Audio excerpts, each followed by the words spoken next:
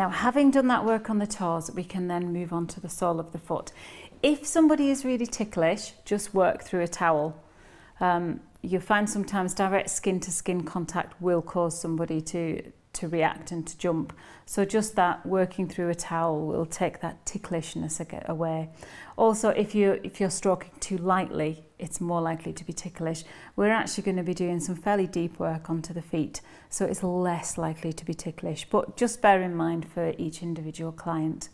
Now you can see here I've taken the, the foot and I've put my hand underneath it.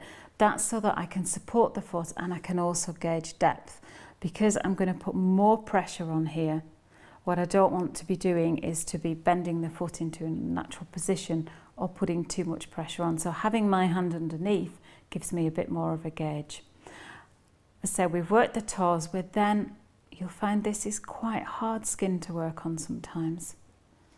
It can be quite a, a strong area. Remember the, the skin on the sole of the feet is one of the thickest areas where the skin will be on the whole body.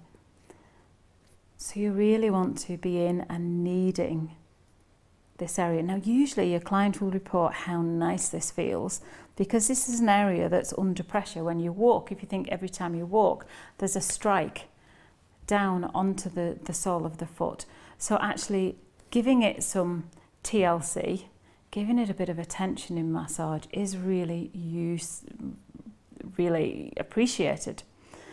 Now you can see here I'm coming, my fingers are in between the bones of the foot and I'm kneading across and then coming out and working in between all of the toes. Now you can use your thumb, you can, if you need to, use your elbow. If somebody's got really thick skin, you can use your elbow in here, but do it more gently than you would do with your thumb. Obviously you've got a lot more power in your elbow than you will in your thumb. But you can find you'd be able to just move down, still follow the gap between the bones so that you're really getting in there. You will often feel a crunchiness here, that's nothing to worry about. Um, it tends to be a bit of a build-up of, um, of lactic acid or it can be various other things within the foot, but you want to get that moving. As you move the way up the foot, move your way up the foot into the arch, you need to back off with your pressure. So I'm not going to use my elbow into the arch of the foot, but I could use a loose fist. Being careful to protect yourself, you're not, you know, you're not going into a tight fist where you're going to put pressure through your own body. And again, I'm just kneading this whole area. Now, if somebody has a problem with the arches of the foot, just be more gentle here. We're going to come right up the outside of the sole of the foot as well and into the heel. Now we're going to discuss shortly what to do if somebody has plantar fasciitis, but we'll, we will come back to that.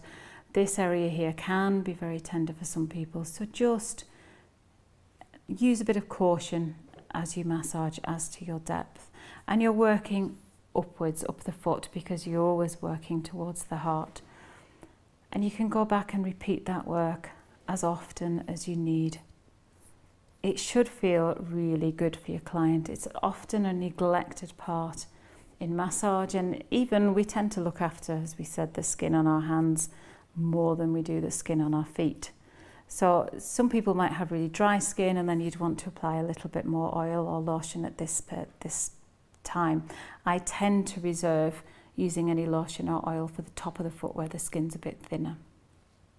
Now while we're working on the sole of the foot, it can be nice to give a really good stretch. Support the foot, the toes back with your own hand and then just applying a little bit of pressure and you can see that stretch starting to come in into the arch and into the sole of the foot and that's going to do good all the way up through the calf. Don't overstretch it, release it, keep it there. Don't keep it there too long. You can just move it backwards and forwards. You can always move the little bolster and you can put the client's feet, toes onto the table and you can stretch that way too. It's just a really nice stretch, but then follow it up with a little bit more kneading into the sole.